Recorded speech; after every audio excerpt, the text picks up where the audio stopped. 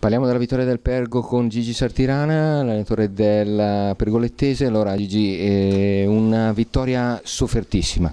Ma sì, a un certo punto sembrava fatta perché avevamo in pugno la situazione sul 2-0, addirittura nel secondo tempo abbiamo avuto subito all'inizio un'occasione per fare 3-0 e poi c'è stato quell'infortunio lì che ha dato la possibilità a loro di, di accorciare distanze,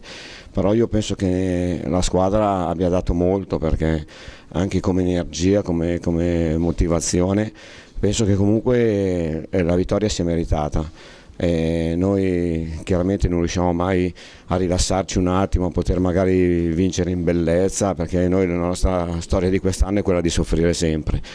Però io penso che alla lunga, se guardiamo nel complesso della partita, abbiamo sbagliato diverse occasioni da gol, per cui penso che non ci sia niente da dire, perché tra l'altro se andiamo a vedere bene e sul rigore dato a noi c'era una chiara espulsione lì, adesso penso che andasse direttamente in porta, per cui...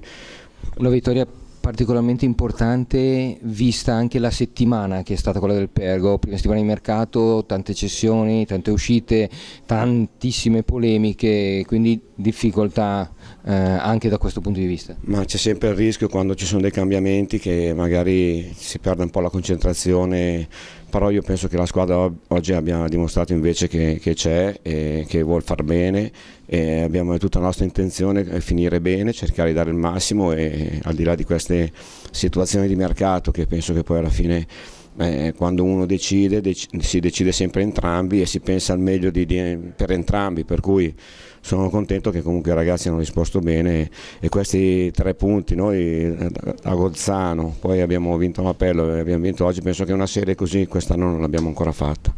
una uh, gara con luci ed ombre, gara giocata a tratte, iniziata male eh, a inizio partita e inizio secondo tempo e a tratti bene, bisogna ancora trovare un po' di continuità? Sì, nel primo tempo, i primi 20 minuti non, non abbiamo giocato sicuramente bene, ma abbiamo sofferto un po' il possesso palla loro, ma anche loro mi sembra che avessero fatto un paio di tiri centrali e noi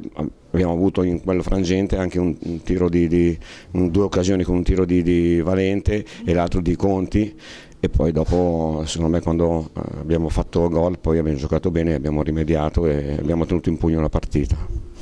questa, questo nuovo look eh, da mezz'ora a questa parte? Ma eh, mi hanno tagliato in diretta i capelli perché le promesse vanno mantenute, mi hanno detto che se vincevamo eh, col Caravaggio io devo pagare Dazio e l'ho pagato, io, io le promesse le mantengo sempre.